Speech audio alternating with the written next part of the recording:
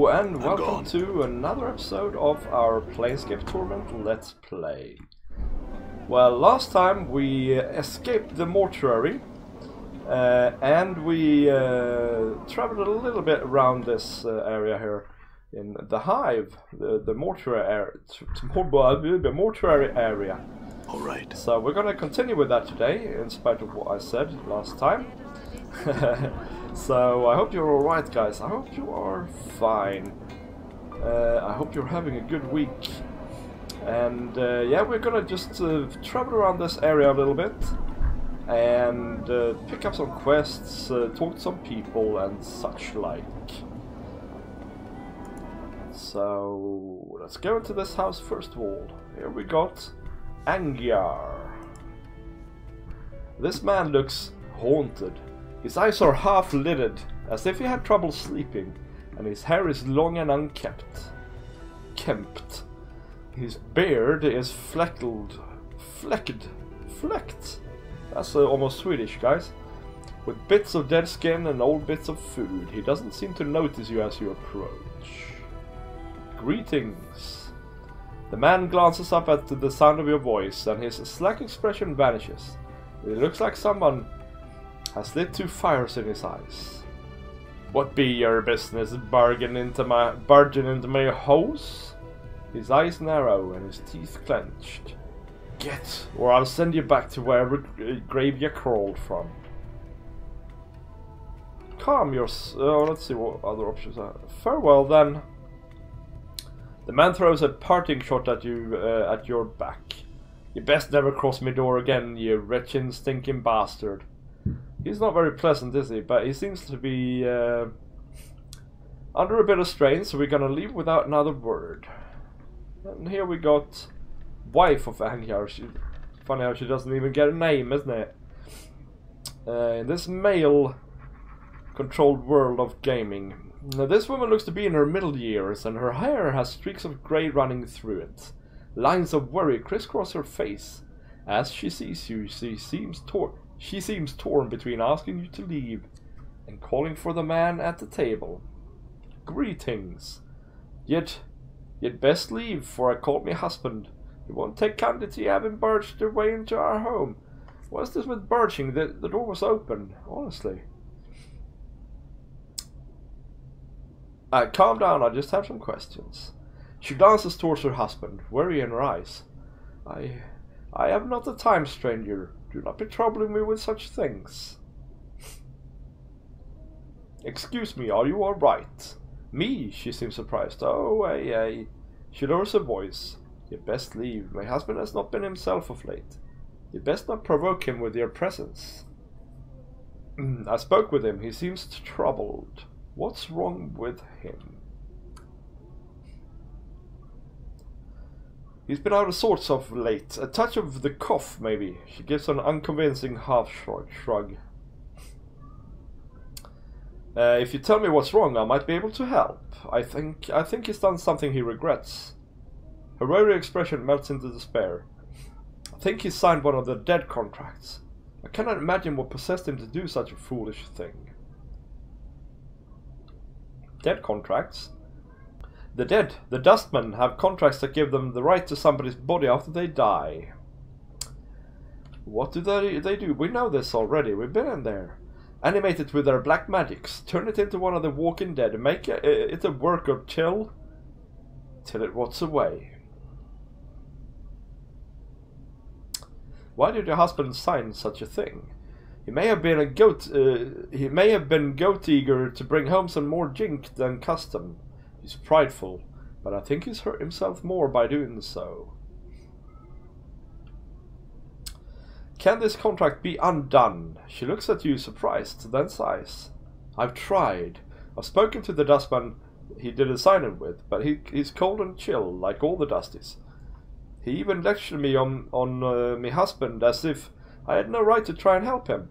Her lips become a tight, thin line as if picturing the dustman's face. He was cold and cruel, he was. Uh, let me see what I can do. Who was this dustman your husband signed the contract with? The dusty calls himself Gravesend. I know not his first name. He has a table at the Dustman Bar in the Hive. Gathering Dust, I believe the place is named. You can most like find him there, trying to get more people to sign contracts. Updated my journal. I'll seek him out then. Uh, head out to the street outside, go to the memorial stone, and then head south and west from there. That's an unusually complicated uh, description, woman. She taps her finger against her chin. You should run right, right into it. There's one of them. Her face wrinkles in disgust. Walking corpses out front. Very well, I shall go and see what I can do. I won't turn away such a friendly gesture. She seems grateful, then her worried expression returns. But I must ask you not to let on I asked you to do such a thing. My husband has a terrible, terrible temper, and if he finds that uh, ta- if he were to find out, she shudders. Uh, let's see. Do we? We don't necessarily want to. We're we're fence sitters, aren't we? We're gonna try and. Yeah, I can't make any promises. We'll have to see what happens. Then I ask that you keep as quiet as you can about the matter. Yes, I will do that. So, we need to go and talk to this dust man, but before we do, we're gonna go up here a little bit. There's a harlot, that's nice. Up to the memorial we're headed. See, all the dustmen here. Uh, being the sand, sender we talked to already. So you see this black stuff around here. Click on that. That's uh, vines with black leaves. The stems looks extremely sharp. This here is a, an obsidian mo monument, and it has names chiseled on it. And we can talk to Quentin. The man before you looks like the uh, looks to be middle of height and years. He is stout with a thick, bullish neck, and his shoulders are hunched as if a great weight was pressing upon them. upon them. He wears an impatient look as he stares at the black monolith in front of him. Greetings! The man throws you a glance. There's room, Cutter. No need to ask my leave to stand here. Uh, actually, I wanted to know what this monolith was. It's a tombstone for the Planes, he scoffs graveyards of names are scratched on that rock. Uh, can only hope my name's one of, uh, the one that'll split this stone in twain. Point at the base of the monolith. Quentin, right there. Hammered in just hard enough to send the damn thing crashing down. Tombstone for the Planes? Hey, Quentin smiles ruefully. The dust has scratched the names of the dead on this monument here. Just as around him and on the walls of this place. Not enough space by my reckoning, but no matter, they do their best. Can barely read half the names. Now what are you doing here? Reading the new arrivals. Try and find a new one every day. Try and remember if I knew him. Nothing more. I see. Farewell. So we can look at the inside here as well. This obsidian wall has thousands of names carved into it. Oops. And here we have Sev'Tai. This woman's face looks broken and she's covered in scars. They look like bite marks and fingernail cuts. She is cradling the shreds of several rags in her hands and is staring emptied, emptily at the wall of the monument, at the names there. Greetings. Psst, get back. The woman's teeth peel back, displaying a row of black canines. What do you want with, with Sev'Tai? What's the matter? What's wrong? Those cows, cow, cows men wrecked my cart, attacked me, and killed three of my sisters who tried to stop them. Not sisters anymore. Now there's nothing but names on this memorial wall. Cows men? A faction, they say. What they are is an adult bunch that runs wild through the hive and does whatever they please. We never did no harm to them. They lope in like dogs and tear apart anything within their reach. Who are these cowards and men they attacked, that attacked you? They're a Hiver gang, a bunch of adult, adult sods that call themselves the, the Starved Dogs Barking, or some such barmy nonsense. So let's see. We are going to say.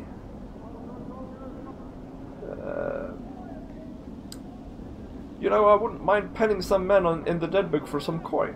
You got the copper, we'll talk terms, maybe.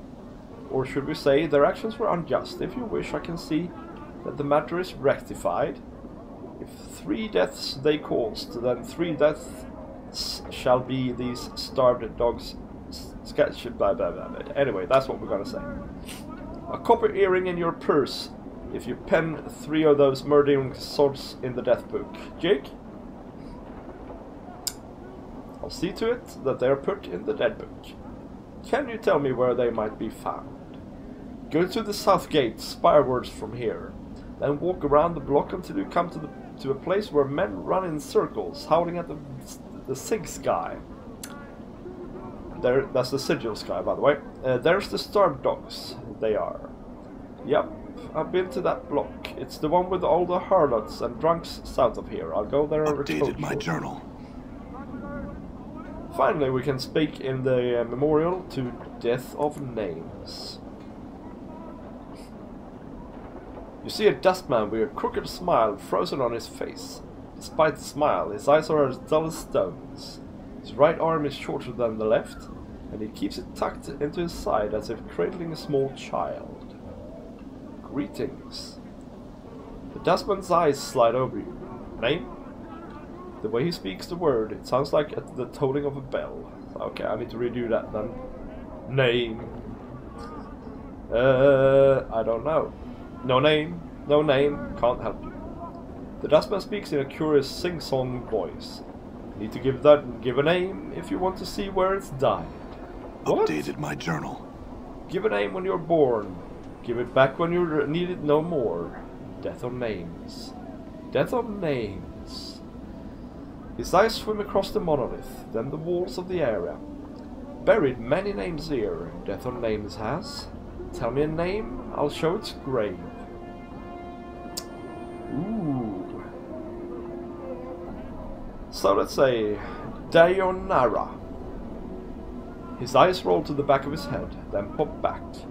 With a wild gleam, his eyes run across the walls of the monument, scanning the names at inhuman speed. Then he points at the section of the wall. Buried. Examine the spot he is pointing at. Chiseled into the black stone is a tiny in tiny cramped writing is the name you requested. It is almost lost beneath the sea of names around it. I had another name. So let's see. Dhall. Shakes his head. Not dead yet, that name is. Not buried here. Not time, not time. Uh, let's try another name. Um, uh, uh, Adahn? He shakes his head. Not dead yet. That name is not buried here. Not time, not time. Can you bury a name for me? He nods, then unfolds his small hand from where it's cradled on his side. It's, it looks atrophied. It is the size of a child's hand. Costs jink to bury, jink to bury a name. Three coppers. Three. Ooh, I can put Quentin's name in here. Hmm. Let's try it. He shakes his head. Not dead yet. Okay.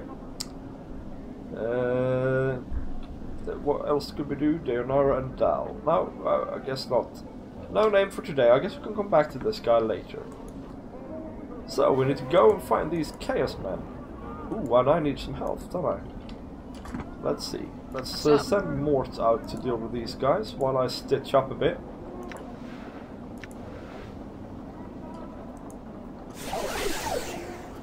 There we go. Let's go for that as well. Right. Alright. Why can't I attack them? There we go. There's a battle on our hands. Who's that? Ingress. I need to talk to her as well. Running about you are. Okay, let's go for this dude instead. What am I attacking with? Did you see that? Okay, we need to I'm Put hurt. this last dude as well. Done. And we need some more stitching. Gonna look like a...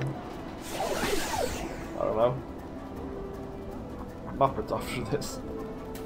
Okay, so they are fleeing.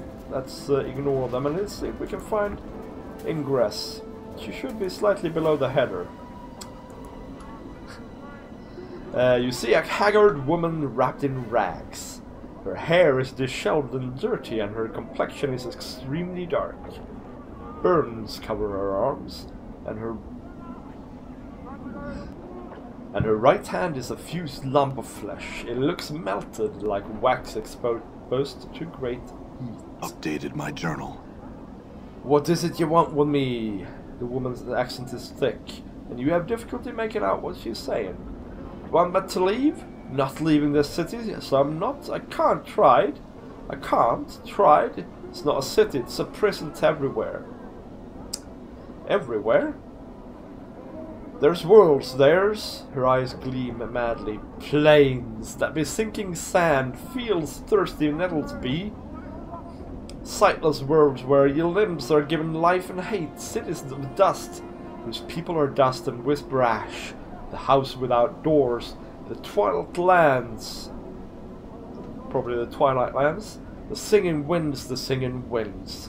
She starts to sob quietly, but she seems all out of tears. And shadows, terrible shadows there be. Where are these places? Where's Where's them places? She flips the lamp of her right hand in, in an arc, gesturing at the cityscape. There's all here be. Doors, doors. Here to everywhere. Doors. You, you're not knowing this. She squints at you, and her teeth start chattering. Tell you I will. Beware every space you walk through or touch in this thrice cursed city. Doors, gates, arches, windows, picture frames the open mouth of a statue, the spaces between shelves. Beware any space bounded on all sides. All the, the all these are doors to places. What do you mean?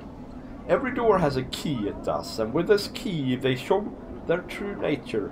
Arch becomes a portal, a picture frame becomes a portal, a window becomes a portal, all eager to take you someplace else. They steal you away, she raises the lamp of her right hand, and sometimes what's on the other side takes part of you as tight. What are these keys? The keys. The keys number as many as the doors in this city. Every door a key, every key a door. The teeth starts ch chattering again as if, if she's cold. And the key is? A key is anything.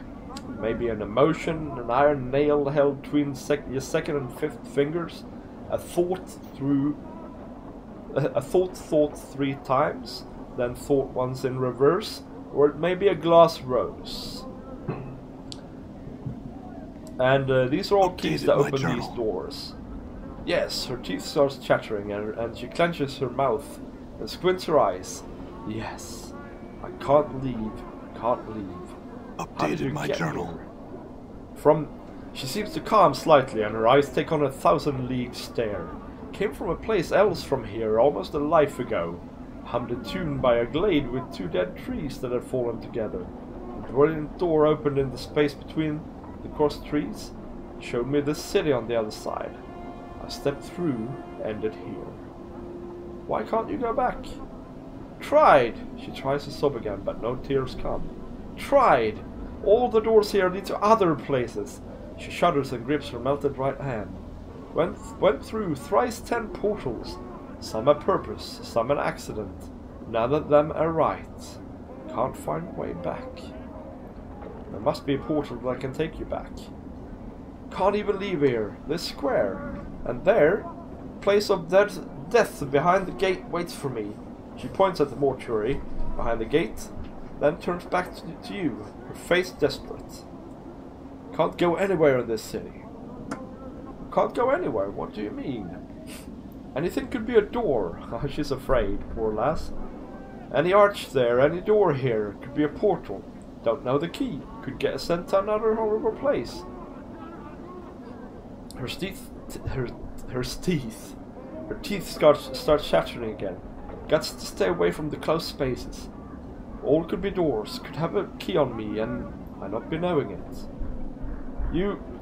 You're afraid to go through any door or arch because it might be a portal. She nods, her teeth chattering. How long have you been afraid of this? She squints. Since the last time I walked through the last portal, the place where I'm my hand. She stops. Since my tenth turning. I'm in my fourth tenth turning that now. Her teeth begins chattering again. Thirty years. You haven't walked through any door for thirty years. Her vision seems to clear slightly. She looks up at you, her teeth still chattering. Uh, so, if you got here, there must be a portal that can take you back. It's only a matter of finding it. She smiles. Her teeth aren't chattering because she is cold. They are moving around inside her mouth. Her gums twisting as teeth shift, shift as the teeth shift about. They rise and recede as you watch, chattering as they rattle against each other. What? She hisses at you. Only takes one portal you step through to uh, accident to drive the fear in you. I went through thrice ten, lost me hand, burned me flesh, lost me sense. She looks at her feet. More and more.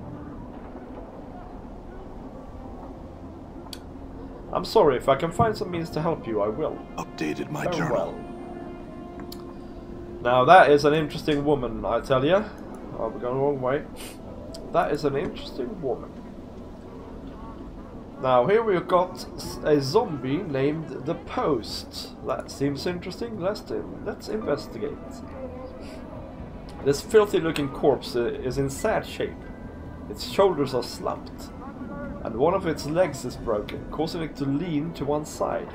Stains cover it from head to toe. Judging from the smell uh, and the texture, the stains run from rotten fruit to mud and bird droppings.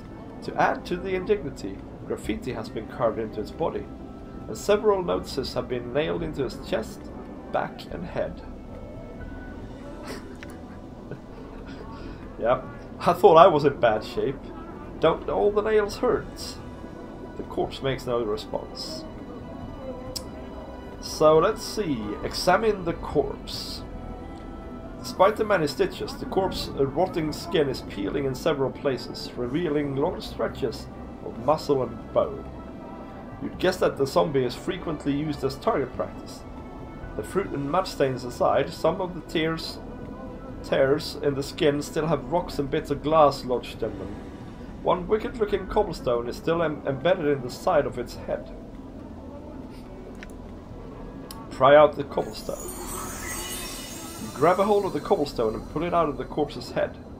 Traces of brain matter and rotting flesh slowly drip from it. It looks like whatever it was in its head turned to ooze long ago. Ew. um, so let's see here again. Yeah, examine the graffiti and notices. A number of the leaflets that have been uh, have been ruined by rain, but some of them are still legible. One tackled to his back is from some one something called the Office of Vermin and Disease Control. The one on his forehead looks like a, a bill of fare for a restaurant. What the one on his uh, chest looks like an official note, and another one appears to be some sort of want ad. So, uh, look at the post for Office of Vermin and Disease Control. To those hive citizens wishing grateful employ with the most honorable and generous sigil gov- uh, government, inquire for forthwith at Office of Vermin and Dis- Disease Control to help stem plague of brain rats. Bounties paid. Copper given for each rat tail brought. Tails must be, must be genuine and from rat only. No cat, dog, or fiend tail accepted. Office several streets south and west of the mortuary gate. In Lower Hive. Ask for official inspector in charge, the respected Phineas T. Lort. the 1020, yeah, the, the much numbered one. Funny side note, Lort in Swedish means poo. Examine the other notices. Uh, so, let's see. We've done the disease control. Let's examine the bill of fare. Someone has posted a bill of fare for the Gathering Dust Bar, but the bill of fare cannot be read as the words Smoldering Corpse Bar has been scrawled in charcoal over the bill. Smoldering Corpse Bar? The zombie immediately jerks its left arm upwards and points far to the southeast. A moment later, the arm falls back to its side with a thump. Reminds me of a job I once had, uh, Mort says. He seems embarrassed. Well, I mean, without the arms. hmm, I wonder if this would work with the other notices. So let's see. Uh, examine the official notice.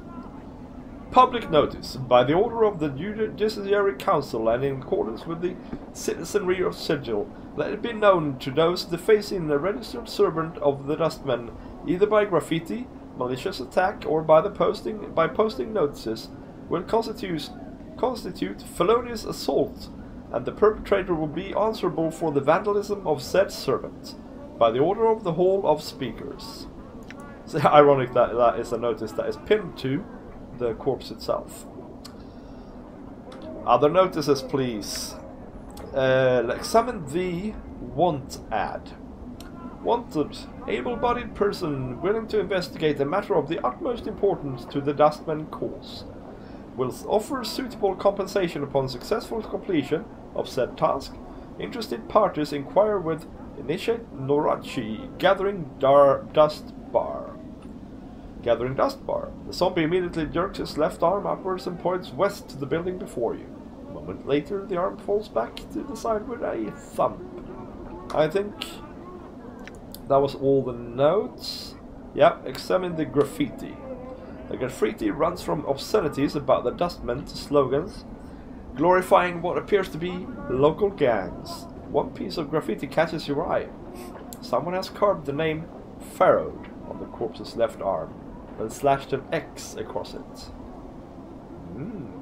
Pharod. Updated my journal. The zombie immediately jerks his left arm upwards and points far to the west and downwards. A moment later, the arm falls back to its side with a thump. Uh, thanks. Looks like my skills have increased. Mort gained a level. Now this was very interesting. So far, to the west and downwards is where we can find Pharod. And if you recall, we're looking for Pharod because he allegedly has our journal. Who is Annah? Ah, I never, I can't see, couldn't what she said. Uh, Annah says, you see a striking, well she doesn't say this, we see this. You see a striking red-haired girl dressed in a leather armor. Her right arm is covered with a series of interlocking plates that look as if, they were taken from the skin of some creature, and a horned shoulder piece protects her left arm. Oddly enough, she has a tail that is flickering back and forth as you watch. Pike off! Greetings. The girl ignores you. So, we can talk to her. Uh, let's be a bit naive. I'm looking for someone named Pharod. Do you know where I can find him? Hey, I might.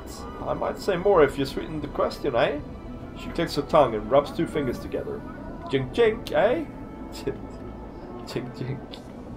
Mort says she means money. Oh. Hey, she glances at Mort, then shrugs. What the skull said? Art coin. Uh, so let's see. All right, how much? How much is it? Is it to, uh, to yet to know, eh? She studies you, then folds her arm. Arms. Come on, I've got all day, I haven't. How about ten? That enough? That lump of corpse isn't enough to wheat a fated appetite. Wet a fated appetite. You'll be needing more if you want to make friends, Tard.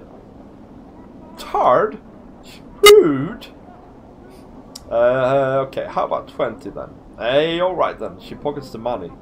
It's gone so quickly you have no idea where it vanished to. Look for him in the alley spirewards from the mortuary. That's to be to the south and west of the mortuary, eh? Oddly enough, south and west of the mortuary is an alley filled with heavily armed thugs. Know anything about that? Oh, eh?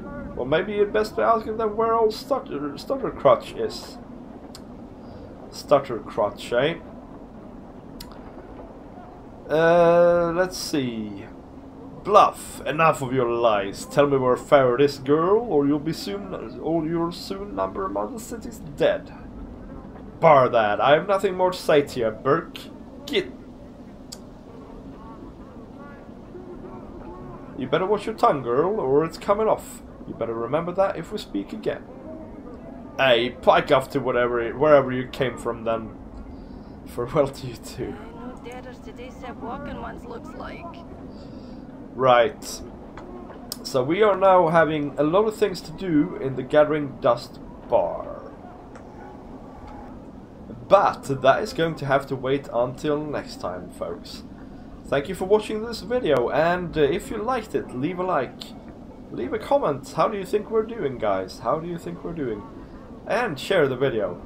Uh, and I will see you next time. Bye bye!